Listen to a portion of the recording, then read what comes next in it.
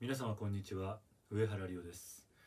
1月の29日2月14日それぞれビルボードライブ横浜ビルボードライブ大阪にてライブをさせていただきます、えー、当日は